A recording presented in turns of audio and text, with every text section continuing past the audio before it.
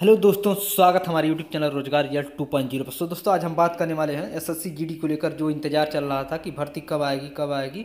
Finally दोस्तों, उस SSC GD की तरफ़ से खुशखबरी आ गई है और इसका नोटिफिकेशन आउट हो गया है एसएससी जीडी का, जो कि 2023 की सबसे बड़ी भर्ती कह सकते हैं, क्योंकि पचहत्तर पोस्ट पर आई हुई है भर्ती। क्वालिफिकेशन आपकी टेंथ पास है और जो भी इससे रिलेटेड इन्फॉर्मेशन है, वो सारी हम बताएँगे। इससे पहले आप हमारे चैनल पर नए होंगे चैनल को सब्सक्राइब करिएगा वीडियो को लाइक करना ना भूलिएगा। तो दोस्तों वीडियो को शुरू करते हैं। तो दोस्तों, मैं एस डी का ऑफिशियल ये नोटिस जो आज जारी हुआ है, उसको मैं डाउनलोड किया हूँ, देख लीजिए। जो कि ministry of government of India के ministry of personnel public grievance and pension की तरफ़ से ये आया है। तो देख लीजिए, ये फॉर्म कब से स्टार्ट हो रहा है दोस्तों? आपका जो फॉर्म स्टार्ट हो रहा है, चौबीस ग्यारह दो हज़ार तेईस से और अट्ठाईस बारह दो हज़ार तेईस तक इसको भर सकते हैं आप। और इसका जो लास्ट डेट आपका पेमेंट जो करना है, तीस बारह दो हज़ार तेईस है, जो कि दिया है टाइम। और इसका जो कंप्यूटर बेस्ड टेस्ट होने वाला है वो फरवरी 2024 में टेंटेटिव डेट है। तो ये जो वैकेंसी आई हुई है, इसमें टोटल पोस्ट ये देख लीजिए किस तरह से अलग अलग विभाग में है।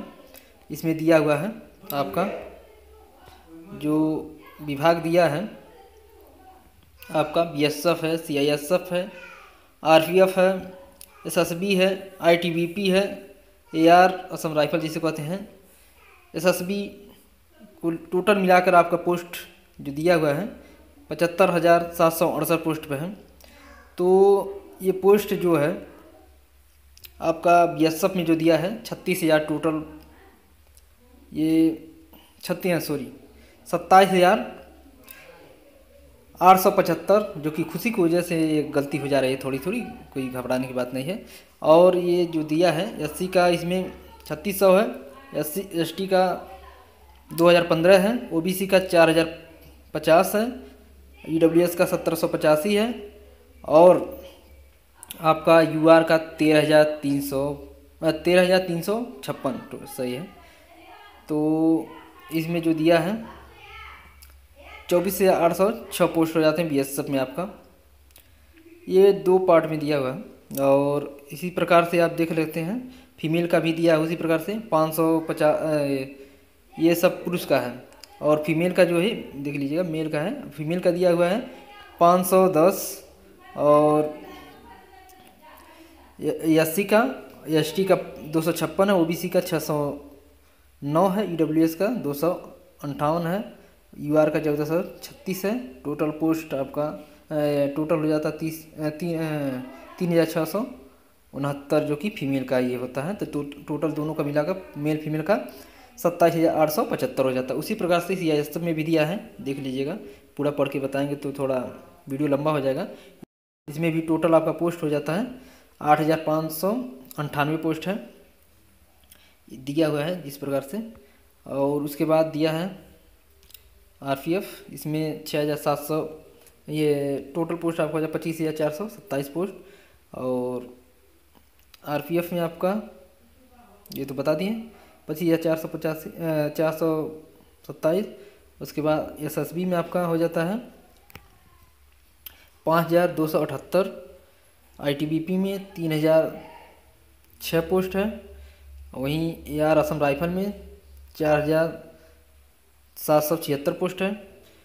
एस एस एफ़ में आपका पाँच सौ तिरासी पोस्ट है। इस तरह से आपका टोटल पोस्ट हो जाती है। ये पचहत्तर हज़ार, ये तो फ़ेज़ वन का है। पचहत्तर हज़ार पाँच सौ तिरालीस और फ़ेज़ टू में है आपका दो सौ पच्चीस इसको मिलाकर पचहत्तर हज़ार सात सौ अड़सठ पोस्ट हो जाते हैं। तो दोस्तों, ये तो ये तो था आपका, ये ब्यौरा जो है कितनी कितनी सीटें किस किस विभाग में आई हुई हैं। तो ये वैकेंसी का डिटेल था। और इसी, इसमें जो एज क्राइटेरिया दिया है 18 से 25 दिया है, देख लीजिए इसमें। अट्ठारह से पच्चीस दिया हुआ है, जो कि फुलफिल कर रहे हो।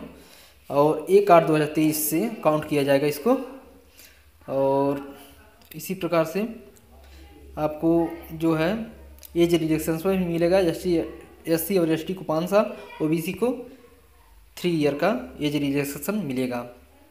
वहीं एक सर्विस वन को भी थ्री ईयर ड्यूरेशन और इसी प्रकार से आपका जो इसमें और भी जो जानकारी है बता रहे हैं हम। दोस्तों, अगर आप एनसीसी किए होंगे तो उनको, उसका भी फ़ायदा मिलेगा।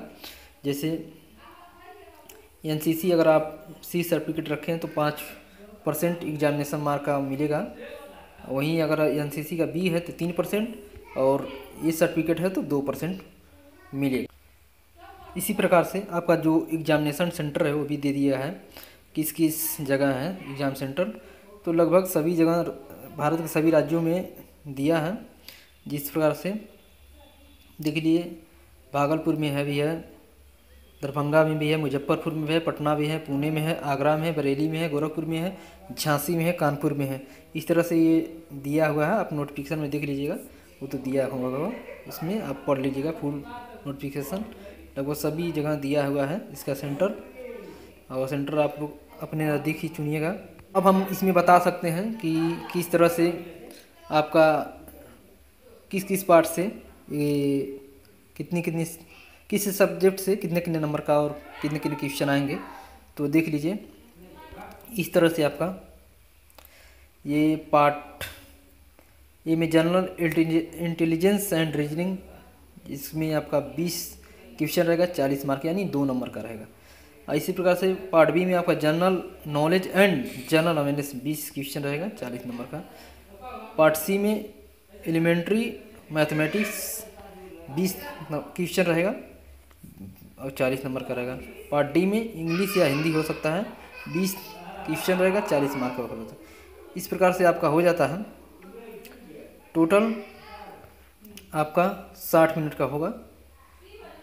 ये जो इसमें होगा एग्ज़ाम, साठ एक घंटे का एग्ज़ाम है। जो आपका फ़िज़िकल रखा गया है, जो कि रनिंग, दौड़ रखा है, पी उसमें आपका मेल को पाँच किलोमीटर, चौबीस मिनट में दौड़ना है। और वहीं फीमेल के लिए सोलह सौ मीटर, आठ, साढ़े आठ मिनट में दौड़ना है। और इस तरह से आप लोग अपना फ़िज़िकल तैयारी कीजिए, भी कीजिएगा। इस तरह से आपका हाइट भी रखा गया है। मेल के लिए एक एक सत्तर रखा गया है फीमेल के लिए एक संतावन रखा गया है। तो दोस्तों, ये इन्फॉर्मेशन थी आपको बताना था कि जो कि एस एस का इंतज़ार ख़त्म हो गया है और भर्ती आ गई है। तो दोस्तों, आशा करते हूँ आपके लिए वीडियो उपयोगी होगा। और जो भी चैनल पर बनाए वो चैनल को सब्सक्राइब करिएगा, वीडियो को लाइक करना ना भूलिएगा। मिलते हैं अगले वीडियो में नए अपडेट के साथ। जय हिंद।